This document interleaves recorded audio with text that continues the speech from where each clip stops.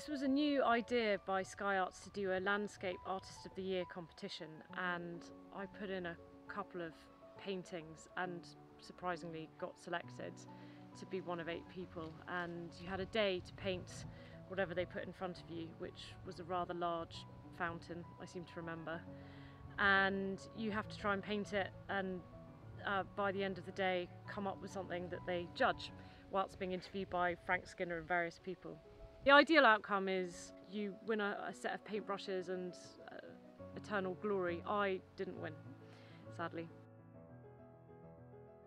At first, just pretty horrifying being in front of the camera, which isn't something natural for me, but I then got quite used to it and started doing penguin impressions for Frank Skinner.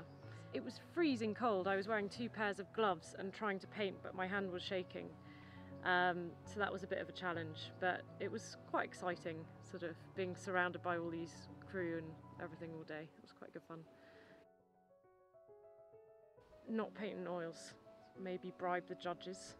Painting in oils might have been a bit of a mistake because they take 24 hours to dry and the competition was only sort of five hours long.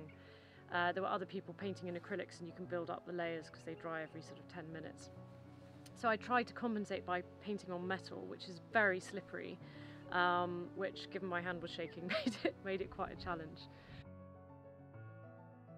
Wow, how nice it is when people keep bringing you cups of tea. I mean, every hour. That was lovely. I wish that could happen in normal life. It was great fun meeting the other artists and having a day on set and learning how much goes into filming something because for every scene that I did, we probably shot it from three or four different angles and did it three or four different times.